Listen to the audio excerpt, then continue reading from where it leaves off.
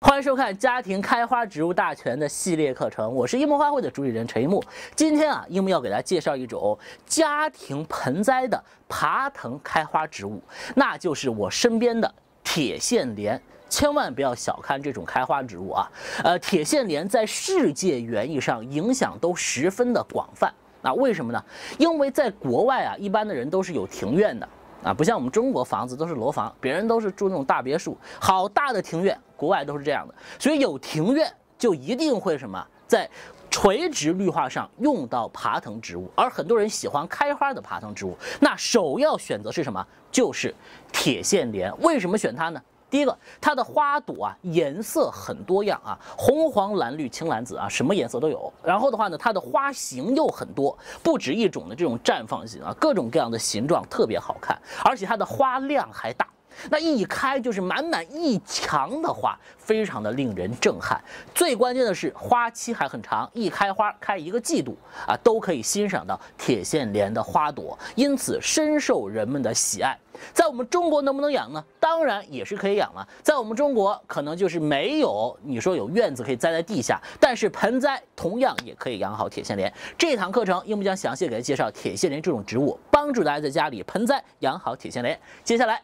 我们来看吧，你说铁线莲好看吗？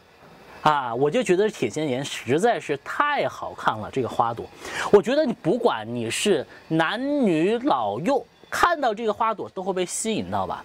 啊，这个花朵的形状就很意思，看到花瓣是像一个船一样的这样的一个花瓣，而且前面有尖啊，然后呢这个船包裹进去，外面和里面的这个花蕊啊形成一个小凸起，长出来这个花的这个像一个八角盘一样，啊，真的是非常的吸引人，啊，为什么铁线莲能够成为国际上大家都会选择的植物啊？开花植物，刚才我就讲了这个历史，嗯，一个就是它，它是个藤本植物，会爬藤，所以说它可以爬墙啊。爬栅栏，一爬的话，爬满你家的院墙。然后养得好，一开花，一面院墙都是这种花，你想想会有多么的震撼呢？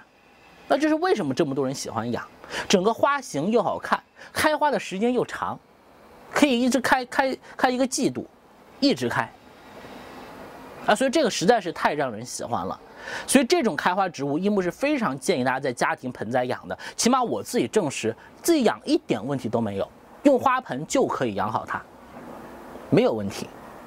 但是樱木要提醒大家的是，铁线莲它是一个喜阳光的植物，不是喜阴的，所以你在室内是养不好的啊，一定要搬在南向的阳台，有阳光的时候，它才会开出这么好看的这样的一个效果来。然后它开花的时间集中在春夏。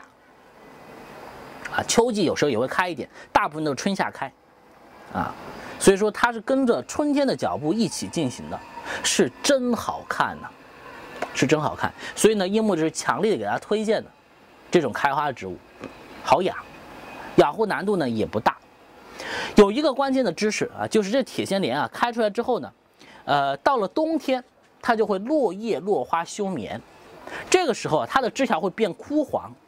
这个时候你千万不要以为它死了，但很多花友到了冬天看到铁线莲这个枝条像这样变枯变黄了，就直接扔了，千万不要这样，它是活着，只是说呢它休眠了，到了春天的时候它会重新的发芽开花。啊，总之铁线莲这个植物花型极美，颜色鲜艳，颜色的种类又多，花朵的花量又大，家庭盆栽难度又小。是真适合做家庭盆栽的爬藤植物。如果你家里的有院墙的啊，想开想开那种爬藤开花的，养它非常的合适。家里没院墙的，自己搭个花架子，啊，阳台搭个小花架，养一盆，到了春天春夏，给你开出来也非常的好看。啊，这植物就真的是漂亮极了。啊，强烈的推荐给大家。樱木自己呢也是很喜欢铁线莲这种开花植物，如果你也喜欢，你也养一盆吧。好了，那这期关于铁线莲的课程呢，到这里就告一段落了。希望大家继续努力学习下方的课程，养花看我们就好了。